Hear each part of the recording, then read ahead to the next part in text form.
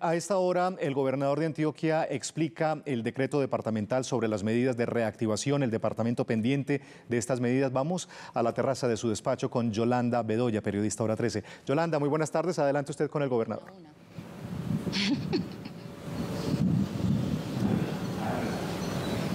Buenas tardes, eh, Carlos Ignacio y televidentes.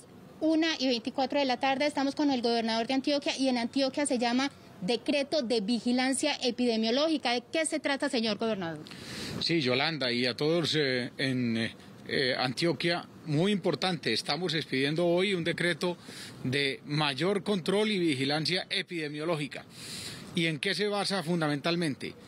Todas las personas que tengan cualquier síntoma de malestar, de congestión nasal, dolor de garganta, tos, fiebre, cualquiera varios de ellos o cualquiera de esos síntomas deben anunciarlo a su empleador, a la ARL, a la EPS, mm, eh, e al número 1, 2 y 3 o al numeral 774 de la gobernación, porque ese va a ser el inicio del proceso de vigilancia epidemiológica. Y de allí esa persona va a recibir eh, la asesoría para avanzar en las pruebas, pero además en el aislamiento que él y los círculos que lo acompañan deben tener.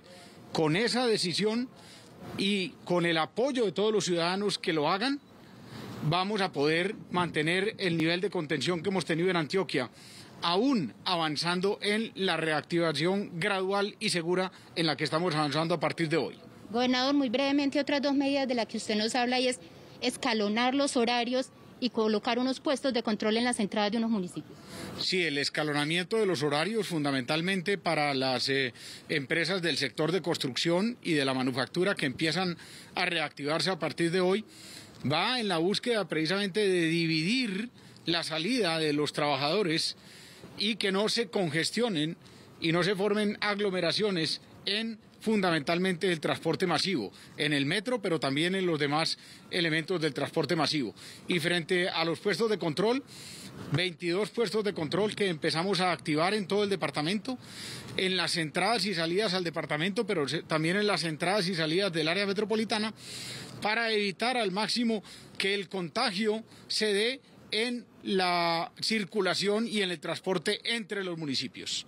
Esta y otras informaciones en h3cn.com. Esto desde la gobernación Carlos Ignacio, Yolanda Bedoya, ahora 13 Noticias, cubrimiento total.